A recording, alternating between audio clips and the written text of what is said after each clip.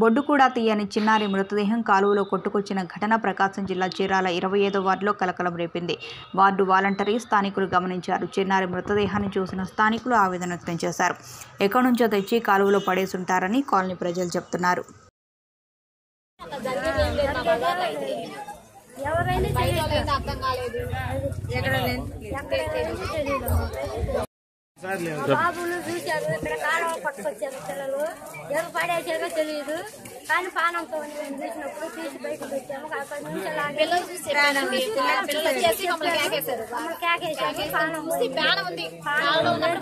పానం తీసి అక్కడ పండేసిన తర్వాత పానం పోయింది. పన్నెండు గంటల నలభై ఐదు నిమిషాలకి ఒక పసిపాప కింద డైనేజీలోంచి కొట్టుకురావడం చూసి మన పిల్లలు. ఈ అబ్బాయి ఆ డైనేజీలోంచి ఆ బండలు తొలగించి ఆ పాపను తీసి బయటికి చూస్తే కొద్దిగా కొన ఉంది. కొద్దిసేపటికి ఆ పాప చచ్చిపోవడం జరిగిపోయింది. అసలు ఏం జరుగుతుంది ఏదనేది మనకు అర్థం కాలేదు. ఆ పాప ఎటు నుంచి వచ్చేసింది అనేది మనకేమీ క్లారిటీ లేదు. అది విషయం. అందువల్ల మనం పోలీసులకి తెలియజేయడం అలాగే మీడియా. ఇక్కడున్న వాలంటీర్లు వాకప్ చేస్తే ఈ ఏరియాలో అయితే పిల్ల డెలివరీ అవ్వడం కానీ ఏం జరిగింది లేదు.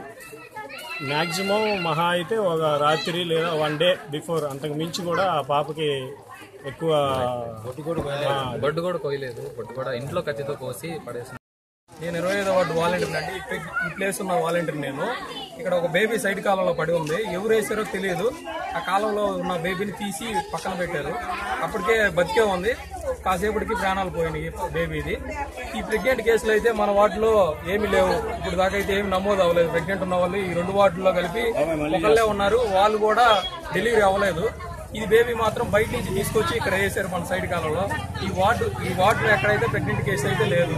ప్రెగ్నెంట్ ఉన్న వాళ్ళు ఎక్కడి నుంచో తీసుకొచ్చి ఇక్కడ వేశారు. ఈ బేబీని తీసింది ఇగో ఈ కుర్రోడు తీసి ఈ అబ్బాయి చూశాడు ముందు. తీయడానికి భయపడుతుంటే ఆ బండలు రెండు పైకెత్తి కవర్ కవర్ పెట్టి అసలు ఈ పేరు చెప్పు స్టార్టింగ్